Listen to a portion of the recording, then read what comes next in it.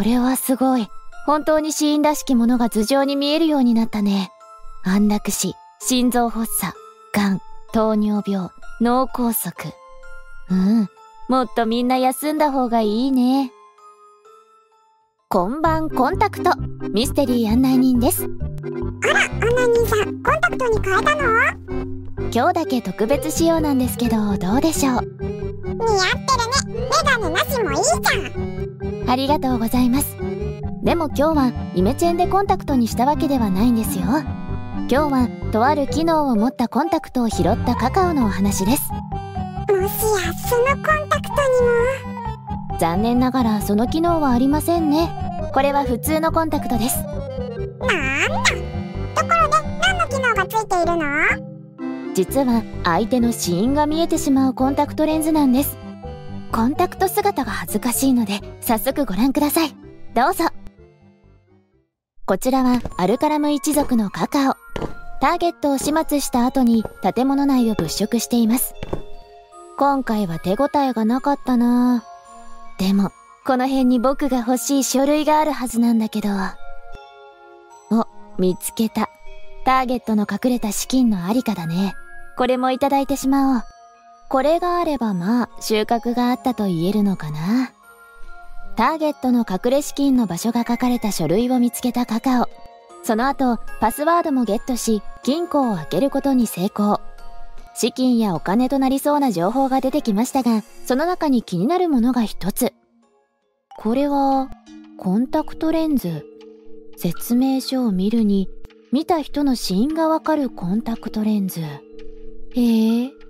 この後もう一件仕事があるから、そこで使わせてもらおう。偽物だったらその場で捨てればいいしね。半信半疑でしたが、カカオはコンタクトを使用してみることに。さて、欲しいものは手に入れたし、コンタクトレンズの効果を確かめるためにも外に出よう。次のターゲットの元へ向かうため移動を始めたカカオ。すると、これはすごい。本当に死因らしきものが頭上に見えるようになったね。安楽死、心臓発作、癌、糖尿病、脳梗塞。うん。もっとみんな休んだ方がいいね。他には死刑、視察、事故死、考察なんかもあるね。あのカップルは彼氏が視察、彼女が死刑になってるけど、まさか彼女が彼氏を刺し殺す日が来るわけではないよね。でも、これは楽しみだ。ニュースをよくチェックしておこう。周りの死因とその近くにいる人の関係値を想像しながら楽しむカカオ。さあ、ここまで見てきたけど、本当に合っているんだろうか？効果を実証したいんだけど、でもそれはそれで面倒だな。カカオが効果を実証する方法を悩んでいたところで、なんとたまたま目の前で事故が起きたのです。事故だ。早く救急車を。警察も呼ばなきゃ。えっとでももう助からないんじゃ。事故の様子と被害者の姿を見ていたカカオは一言。被害者の頭上には事故死の文字。怪我の状態を見る感じ。確かに助からないだろうということは一旦効果を信じて良さそうだね。コンタクトレンズの効果を目の当たりにしたカカオはひとまずコンタクトをつけたまま次のターゲットの元へ向かうことにしました。よしここだ。ふーん。見えてる人は視察射殺爆死のどれかだね。僕が用意している武器と一致するね。じゃあ早速。それ。警備にこっそりと近づき、その場で視察するカカオ。手際が良すぎたため、他の警備には気づかれていません。警備員の服装を奪い、そのまま警備員に変装。よし、これでよりやりやすくなるね。計画通り、ターゲットのいる建物内に侵入していきます。あとはここに爆弾を仕掛けておいて。お前、こんなところで何している？こいつは爆死か？これを見てください。こんなところに怪しいものがあったんですが、何かご存知ですか？それは？あ、もしかして僕みたいな雑魚警備には行ってはいけない機密事項ってこれのことですか？でしたら詮索はしません。あ、ああ、そうだ。そんなのあったかな？やっぱり。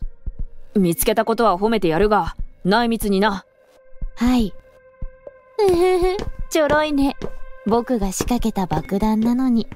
これが爆弾だと知っている以上、爆死は避けられると思うけどね。さ、進もう。こうして順調にターゲットの元へ向かうカカオ。途中建物内の仲間の遺体を発見した警備が施設にアラームを鳴らします。今更気づいてももう遅いよ。さて、どう殺されたい？貴様一体どういうことだ？まさか裏切ったとでも言うのか？さあ、どうだろうね。ここで働く人々の家族構成まで全て把握している。こんなことをすれば、お前の家族、恋人までも危険だぞ。ふふふ。じゃあ調べてみなよ。僕がどこの誰なのか。いいだろう。おいお前、奴のことを調べろ。わかりました。ただ、見ない顔ですね。整形でもしたのか？さあ。ま、いいだろう。調べている間待ってあげる。はん。とりあえず警備員証を没収しろ。そこに ID が書いてあるはずだ。ああ、そういえば ID 管理されてるんだっけ。ま、僕と一致するわけはないからさらに混乱するだろうし、さっきの遺体はすでに見つかっているし、もって10分ってところかな。ターゲットが社員情報を調べる中、カカオはどの武器で相手を始末するか物色しています。その間、面白いことが分かりました。さあ、奴の頭上には、射殺と書いているから、銃を準備して、いや、それじゃつまらないな。馬鹿正直に銃を用意する必要もないじゃないか。射殺と書いてあるところを爆死に変えてやろう。未来を変えたらどうなるのか。ふふふ、今からワクワクするね。そんなことを考えながら、カカオが銃から爆弾に持ち替えた瞬間でした。頭の文字が射殺から爆死へ変わった。なるほど。リアルタイムで更新されていくわけか。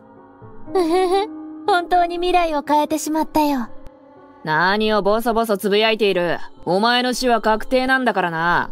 お前が誰でもいい。ぶっ殺してやる。な、何？どうした？奴の制服から個人情報を照合したところ、数分前に死亡と。つまり、どういうことだ？はあ、ターゲットの頭がこんなに弱いとはね。側近のおかげで成り立っていたのかな。ま、君たちのおかげで、また一つコンタクトレンズの力が分かってよかったよ。バイバイ。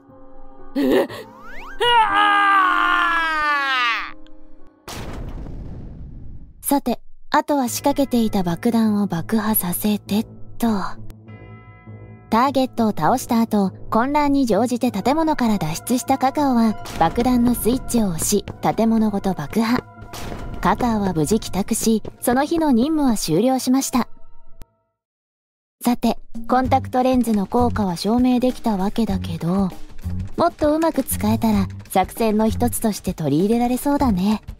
分析して量産することは可能かなちょっと調べてみよう。カカオは持ち帰ったコンタクトレンズを使った作戦を考え始めます。コンタクトレンズは使い捨てのもの。そして3ヶ月分はありそうです。うーん、これを量産するのはなかなか骨が折れそうだ。今は姉さんも頼れないし、自力でやるにはコスパが悪いね。ただ、リアルタイムで死因が更新されていくところを確認している以上、ターゲットの始末においての成功率は100%と言い切ることができる。予期せぬ事態が起きても始末する方法さえ押さえておけば、どうにかできるだろう。カカオは最終的にコンタクトレンズの量産はできなくもないが、それにかなりの時間がかかるため断念。絶対に成功させたい任務の時、そして時間を短縮させたい時に使用することにしました。とはいえ、これに頼り切ってはいけないからね。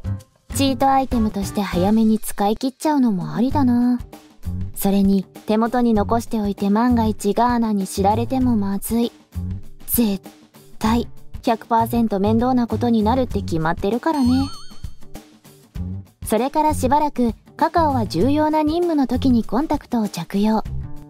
今回は予定している時間の半分で依頼を成功させてみせるから、その時は報酬を倍にしてもらえるかい？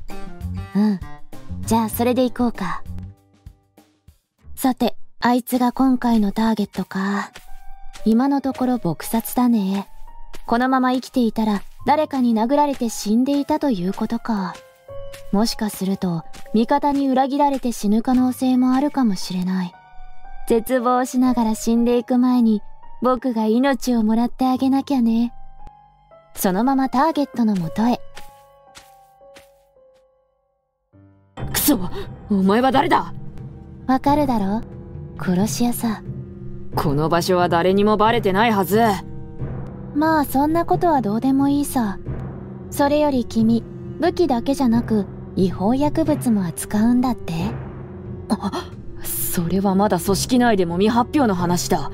くそ、誰かが裏切りやがったな。幹部の誰だ？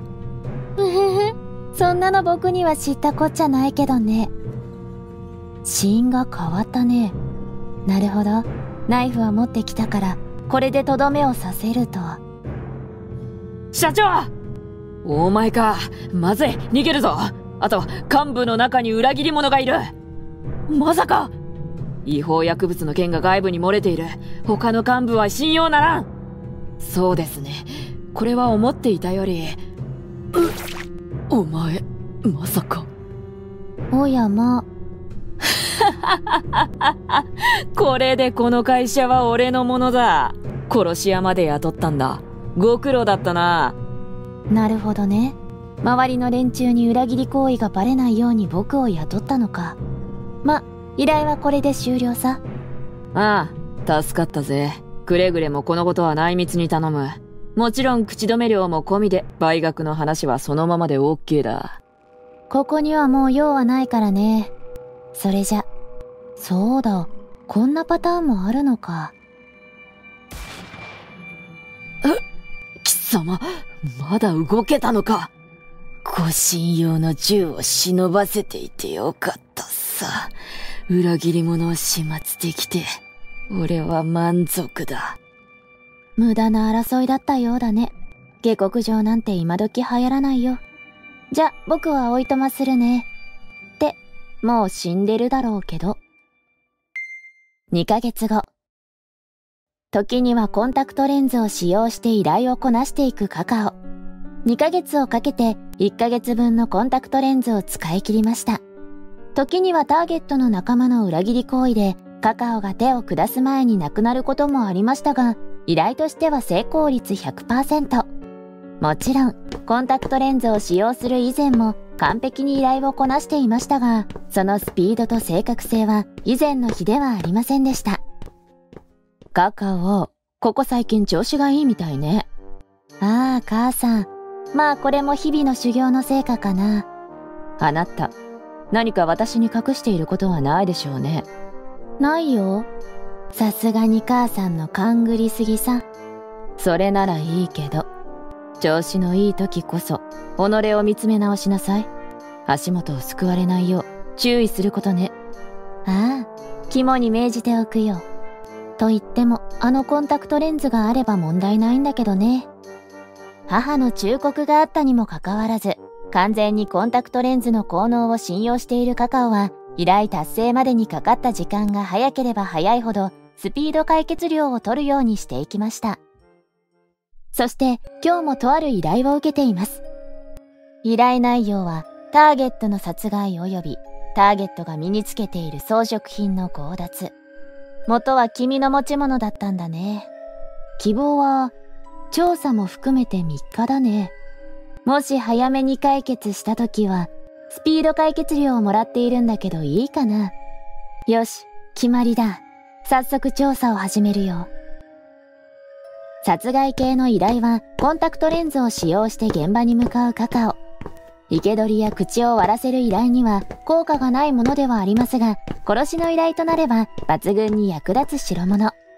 ターゲットの情報、組織図、構成員情報などがあれば武器は何でも OK。持っているものを複数持ち込み、頭上に書かれた死因に合わせて使い分けていくという作戦です。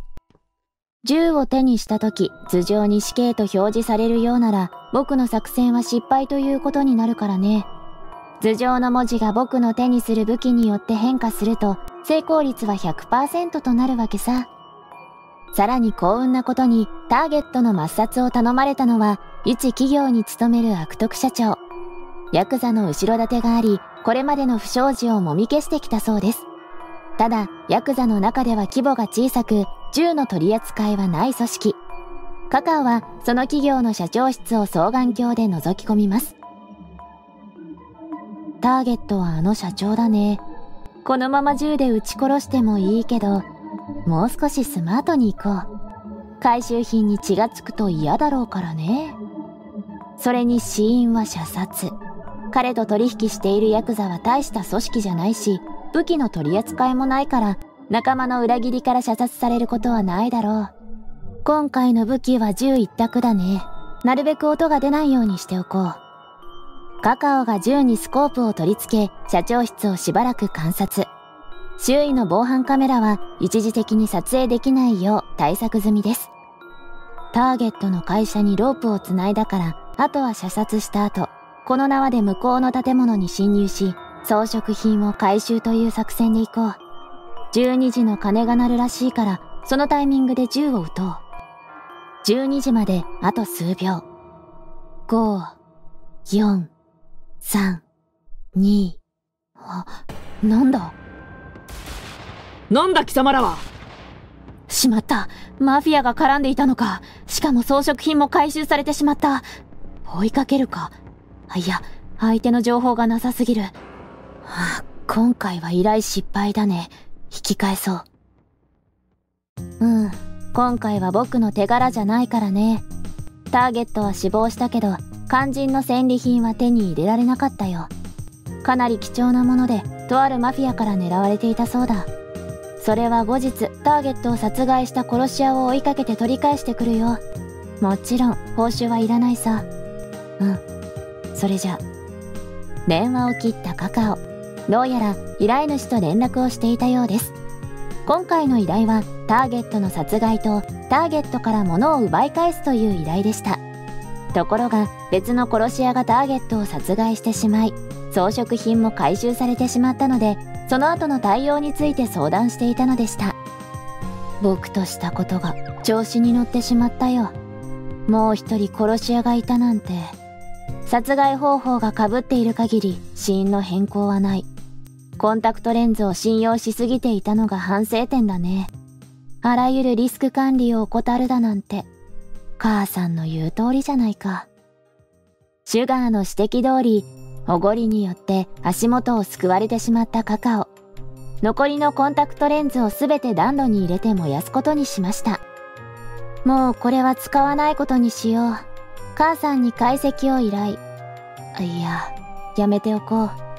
こういう便利グッズっていうのは使い方を間違えれば必ず人間を堕落させる。僕がいい例じゃないか。誰にも知らせず破棄してしまおう。こうしてコンタクトレンズの破棄を決め気合を入れ直すカカオしかし突然立ち上がりこんなことを言い出しますそうだ捨てる前に自分の死因でも見てみようさっきの依頼主と落ち合うまでまだ時間はあるしね。そう思ったカカオはコンタクトレンズを着用し自分の姿を鏡越しで確認しました。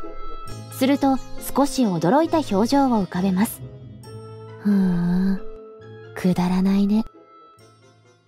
死因が見えることで自分の勝利が見えてるって思うなんてどこまでポジティブなんだよ。想像もつかない考え方よね。もあのコンタクトレンズ面白い代物だったわ。私だったらどう使うかしら。小杖さんは目がないからコンタクトレンズ装着できないよな。死因が見えても亡くなるタイミングがわかるわけではないので難しいですよね。ただ恋人が犯罪者になる可能性だったり事故に巻き込まれる可能性だったりは事前に防げたりするんでしょうかね。そういえばカカオの死因って何だったの？それはこの後のおまけで見てみましょうか。それではまた。バイバイチー。ンふーん。くだらないね。コンタクトレンズをつけているにもかかわらず頭上の文字が見えないカカオ。他のストックを付け直してみても結果は変わりませんでした。自分の死因は見れないようになっているのか。しかし、一体誰が作ったんだろうね、こんなもの。ま、今思えば、自分の死因なんてどうでもよかったよ。こんなことに好奇心を示すだなんて。僕もまだまだだね。面白いコンタクト手に入れたぜ。これでまた、一波乱起こせるんじゃねえか？あ、死神絶対逃さねえ。だからなんで最近俺相手だとキャラ崩壊すんだよ、あんたは。待てーそうなんで毎回こうなるんだ